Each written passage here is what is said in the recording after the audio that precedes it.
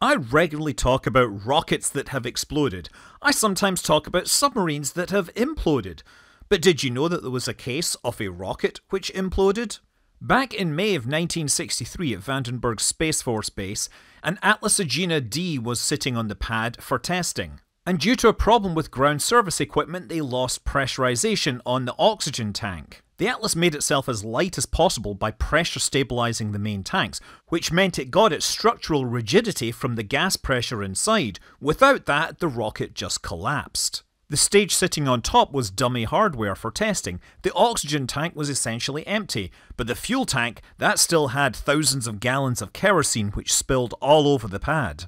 But the engineers in the blockhouse activated the fire suppression system and it didn't catch fire. The damage to the pad was light and eventually this Atlas design would launch a high resolution spy satellite. The Atlas still flies today as the Atlas V, but that modernised version has proper structural rigidity but the ultra lightweight Centaur upper stage is still made of pressure stabilized stainless steel.